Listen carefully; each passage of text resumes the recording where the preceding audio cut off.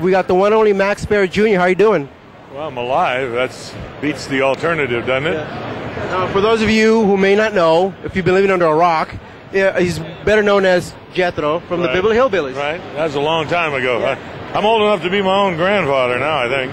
And uh, he and I met 10 years ago uh, at, at, a- at a San Francisco. at a taping of the Jerry Springer Show in San Francisco. This was before Jerry Springer became the Jerry Springer Show that we all know, right? Right, yeah, yeah. Buddy Ebsen, who played Jed, and Ellie Mae were on it. We didn't beat up each other. We didn't hit each other. Nothing. No, no. It was all legit then. Uh, back then, you were talking about uh, opening some kind of a Casino. yeah, uh, that would have. I, I licensed the rights for the Beverly Hillbillies, and I'm trying to been, excuse me, I've been trying to do a casino for about ten years or so, but I won't do it unless I get the right place and under the right conditions, and I can control it. And uh, I bought a Walmart, uh, an old Walmart, just one that went vacant, 120,000 square feet and uh, 13 acres in Carson City, Nevada, and I'm going to try to get it done there. I also have slot machines that are out now, Beverly Hillbilly slot machines that I, IGT puts out. That's International Gaming Technology.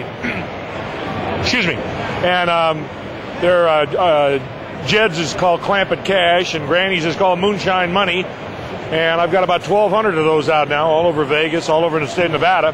Now we're just going into the California market, into the Indian casinos. Looking back at those episodes, you know, what's like, what's the first thing that comes to your mind? I mean, when you look back at those episodes. I get a check every week, I- and all I had to do is show up and work.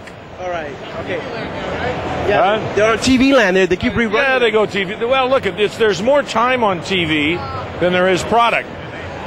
What happens is that in in 1962, uh, when we were on the air, there was only ABC, NBC, and CBS. Now you've got 180 stations or 200 stations that you can go to. So the reason why 50, 60 million people watch the Beverly Hillbillies every week is because there was really not much of an alternative. You had one, you had ABC, NBC, or CBS. That's what you could watch, nothing else. And then if it, you happened to get lucky enough, it was a good enough show, it stayed on and got made some money. What do you think of Weird Al Yankovic's uh, "Money for Nothing" spoof doing the Beverly Hillbillies theme?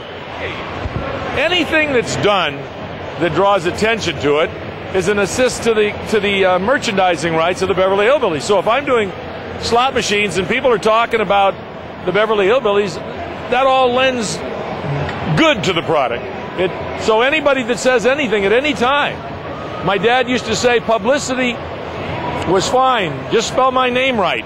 That's all. All right, we're gonna Thank let you you go. much. We're gonna let you go. Thanks Hey. a lot.